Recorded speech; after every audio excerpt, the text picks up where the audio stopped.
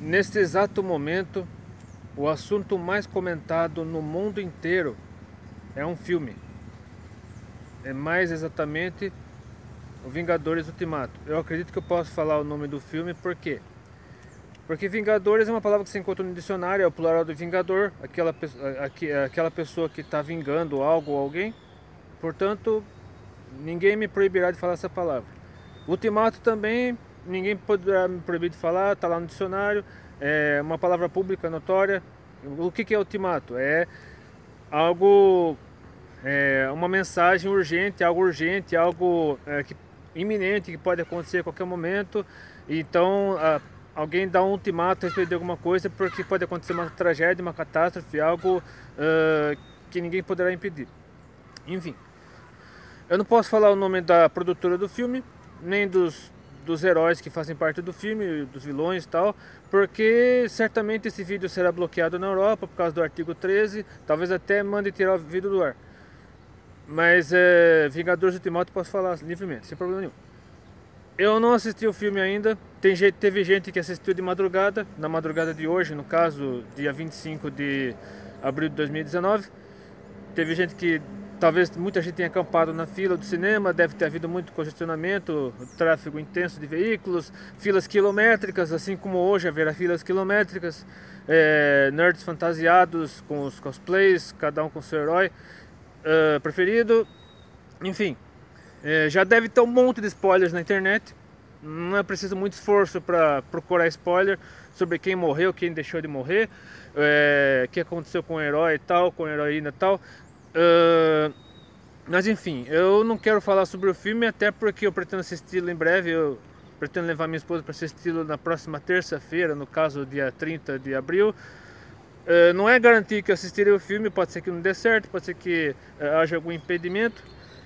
E, mas antes que eu assista o filme e acabe soltando algum spoiler aqui, eu achei melhor gravar o vídeo hoje, publicá-lo hoje, agora, já, uh, para deixar duas mensagens sobre vingança e sobre o ultimato de Jesus, o maior herói de todos os tempos. E sim, existe um herói que é o maior herói de todos os tempos, aquele que foi capaz de vencer o mal, de vencer o diabo é, por meio de sua morte na cruz e principalmente de sua ressurreição, porque a partir do momento que ele ressurgiu, é, que ele morreu na cruz, levou nossos pecados, ressuscitou, o mal foi vencido. Ah, mas o mal continua existindo no mundo, continua existindo sim, porque o ser humano continua sendo rebelde, continua se afastando de Deus. Tudo que acontece de ruim no mundo, tudo que aconteceu de ruim no mundo na, na história e, e, inclusive depois que Jesus veio, é, não é culpa de Deus. Deus não, você não pode transferir para Deus a culpa que é nossa, a culpa que é, é sua, minha, todos nós. A culpa é do ser humano. Por tudo que está acontecendo de ruim no mundo, a culpa é nossa. Devemos ser humildes, devemos reconhecer isso que a culpa por tudo que está acontecendo de ruim no mundo é nossa, porque nós estamos nos afastando de Deus, nós estamos virando as costas para Deus. E eu quero, primeiramente, deixar aqui um ultimato de Jesus, que está lá em Mateus 24. É eu não lerei o capítulo todo, lerei apenas o trecho referente aos sinais dos tempos da, da vinda dele, alguns dos sinais da vinda dele. É claro que existem outros que estão lá no, no livro de Daniel, no Apocalipse, mas é, em Mateus 25 também, mas eu quero deixar pelo menos esse aqui de Mateus 24 para você começar a refletir a respeito da iminente volta de Jesus, o maior herói de todos os tempos. E o único que nós devemos adorar, reverenciar, que realmente vale a pena ser reverenciado, e não é, essa idolatria nerd que está acontecendo nesse momento no mundo inteiro. É, diz assim, Mateus 24, lerei o trecho. Uh, dos versículos 4 ao 14. E Jesus respondendo aos discípulos, no caso, que estavam perguntando a respeito do fim do mundo, uh, disse-lhes: Acautelai-vos que ninguém vos engane, porque muitos virão em meu nome dizendo: Eu sou o Cristo, e enganarão a muitos. E ouvireis de guerras e de rumores de guerras. Olhai, não os assusteis, porque é mistério que isso tudo aconteça, mas ainda não é o fim. Porquanto se levantará nação contra nação e reino contra reino, e haverá fomes e pestes e terremotos em vários lugares. Mas todas estas coisas são o princípio de dores. Então vos hão de entregar para seres atormentados, e matar-vos-ão, e sereis odiados de todas as nações por causa do meu nome. Nesse tempo muitos serão escandalizados, e trair-se uns aos outros, e uns aos outros se odiarão, e surgirão muitos falsos profetas, e enganarão a muitos. e por se multiplicar a iniquidade, o amor de muitos se esfriará. Mas aquele que perseverar até o fim será salvo. E este evangelho do reino será pregado em todo o mundo, em testemunho a todas as nações. E então virá o fim. Esse é o motivo pelo qual nós cristãos somos tão odiados no mundo todo, porque nós pregamos o evangelho do único herói que nós devemos reverenciar, do único herói que nós devemos adorar, que foi que derrotou o diabo. E o diabo está furioso, o diabo está é, rugindo, está atacando mais do que nunca, tentando destruir a igreja, tentando afastar as pessoas de Deus, porque ele sabe que a derrota dele está próxima, é iminente. Então ele tenta a todo custo afastar o máximo possível de pessoas do evangelho para que essa mensagem não, ser, não chegue até quem precisa ouvir.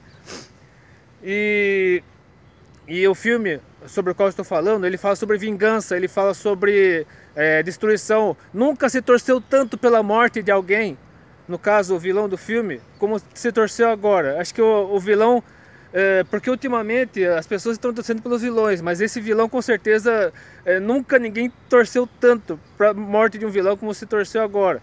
Mas independentemente de ele ter morrido ou não, do que possa ter acontecido, é, a vingança é um sentimento ruim, um sentimento péssimo, horrível, que escraviza. A vingança é um sentimento que corrói por dentro, um sentimento que desfigura a pessoa, que é, destrói a pessoa por dentro, a pessoa fica é, irreconhecível, a pessoa fica é, uma aparência horrível. Por, por quê? Por conta do, de tudo que envolve essa vingança. Ela tem instinto assassino, ela passa a ter instinto assassino, ela passa a maquinar coisas ruins, ela passa a falar de coisas ruins. enfim, a vingança escraviza, a vingança mata. Tanto a pessoa que é alvo da vingança quanto a pessoa que quer se vingar. É por isso que o apóstolo Paulo, na carta aos Romanos, capítulo 12, é, eu lerei aqui o, o trecho entre os versículos 9 e 21. E com ele eu encerro esse vídeo pedindo a todos, desde já, que reflitam, que não se deixem é, levar pelo fanatismo nerd, não se deixem levar pela idolatria nerd, mas busquem o único, aquele, aquele que é digno de receber toda honra, glória e louvor.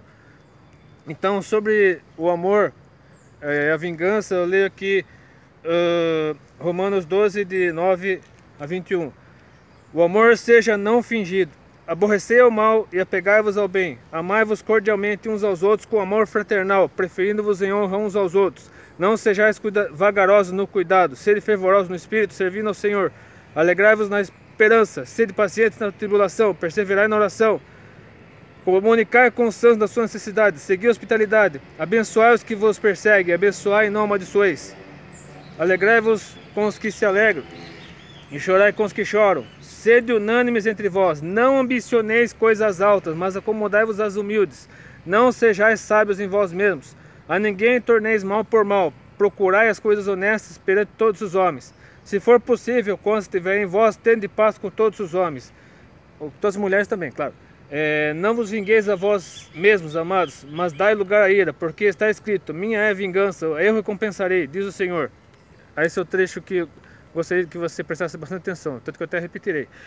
Não vos vingueis a vós mesmos, amados, mas dai lugar à ira, no caso, a ira de Deus. Porque está escrito: Minha é a vingança, eu recompensarei, diz o Senhor. Portanto, se o teu inimigo tiver fome, dá-lhe de comer.